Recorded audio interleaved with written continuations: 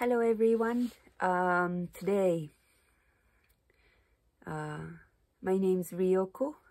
I am from Japan. I'm Japanese. Uh, my parents Japanese, and I grew up, uh, born and grow up in Japan.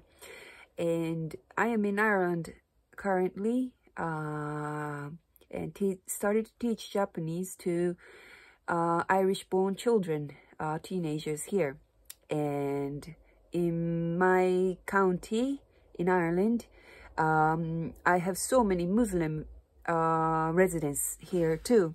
Um, as growing up in Japan, the Muslim population is not so big that I never met a Muslim person till I came to Ireland. I didn't, I didn't even, I didn't really interact with uh, Muslim people when I was in the US or Canada or India or Ecuador. These are the countries I stayed longer, like or France, uh, longer than one month, and four or five between one month and four or five years. Um, I was in the U.S. for five years, uh, San Francisco and New York, but I really didn't have um, a really depth experience with Muslim culture or customs till I came to Ireland. I'm 31 years old, uh, but never had that experience in 20s uh, in, when I was younger.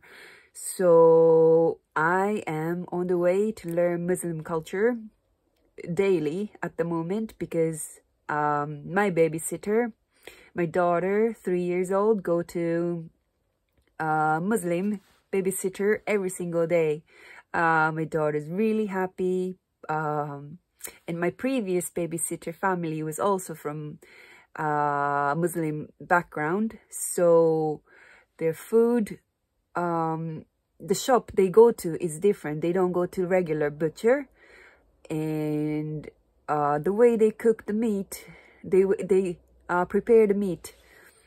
And, and like also their attitude towards alcohol and also towards pork they were all just too different from my culture, from Asian, uh, Japanese, like non-religious culture. Like when I grew up in Japan, there was no restriction into however the way we cook meat. You can cut whatever the way you want. Um, and it's like America too, like it's more like mass production way and we don't really consider anything about how the animals are uh, going through the pain and stuff and also like Muslim culture have Muslim um, Ramadan uh, which I never really paid attention. I met some people who were doing Ramadan um, in places in around the world, but um, it was not really too close to me. I really didn't go through a deep conversation or understand the culture um, till this year. Um, but yeah, I am in the process of understanding Muslim uh, the last two years because of the babysitters and also the kids I'm teaching Japanese. They, I want them to try Japanese food, but so many food in Japan uh, Japanese food are uh, not halal food, which is like we use pork into every dish, we use alcohol in every dish, and the meat we never do halal way, so I have to buy some ingredients from the halal shops in Ireland, and I have to cook and prepare on my own in order to uh, to serve to these uh, kids. So I, I like culture. I always enjoyed learning different culture and different thoughts. Um, that's just me. Uh, I studied philosophy in university, philosophy and art. I always, and so sociology and stuff, anthropology, those are like my favorite field, like humanities and culture and how people live and think. And I love learning languages. Um, so uh, I am very, very slowly observing uh, the Muslim culture. To be really, really honest, I am still not comfortable with Muslim culture. It's just too strict for me. Too many rules. Like, for example, here, Irish beef is yummy too. You cannot, but you cannot really, as a Muslim, you cannot go to regular Irish restaurants because they are not halal.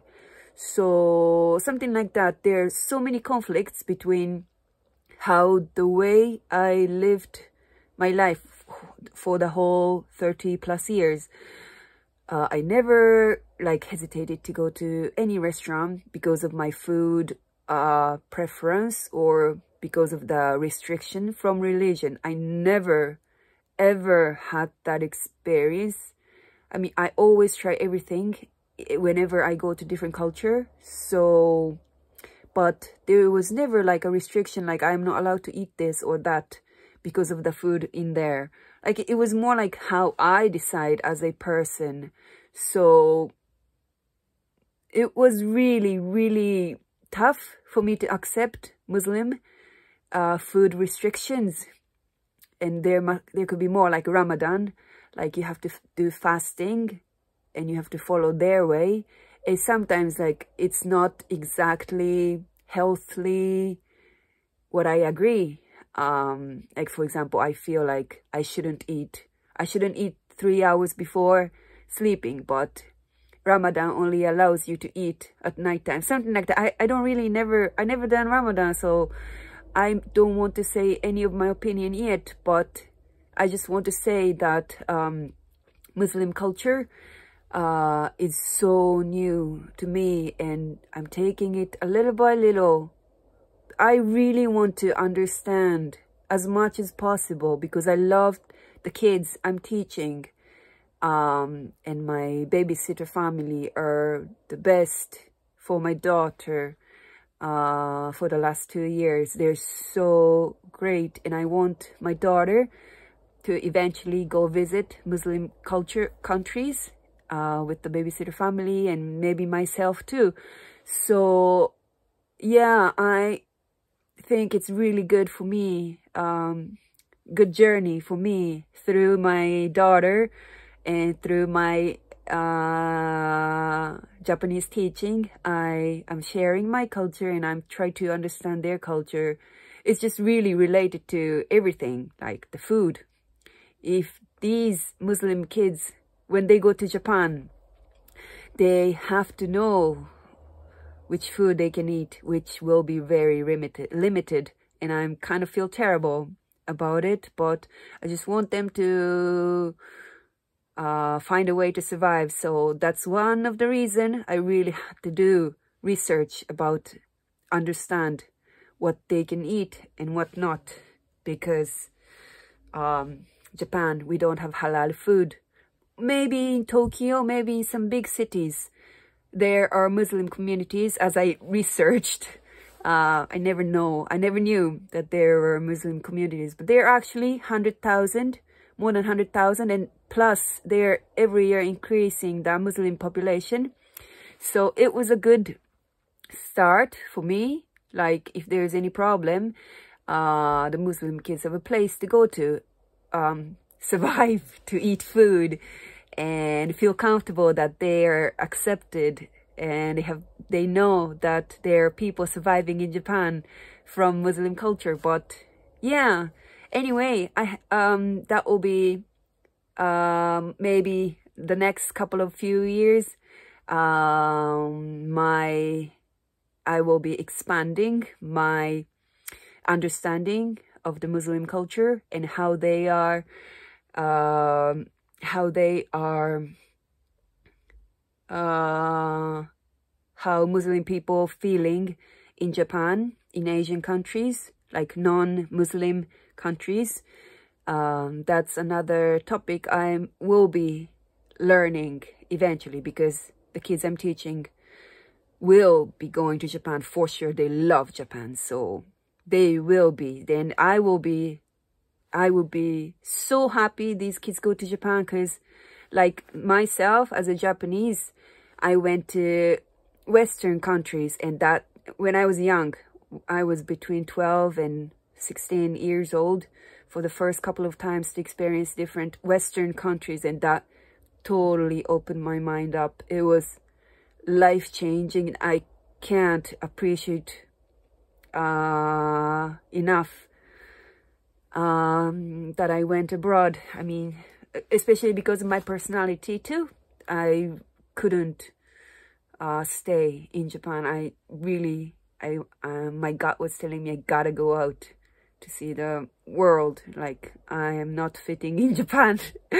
Anyways, uh, long story short, that was um, my journey at the moment with Muslim culture.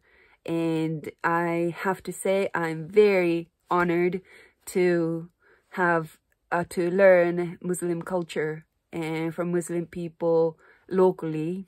Uh, that's the max I can do at the moment. But um, I, today I went to the library, local library. They had some Muslim books. My daughter brought it to me.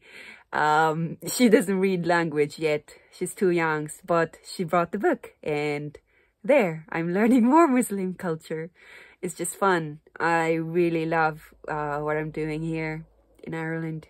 Okay, bye for the next video.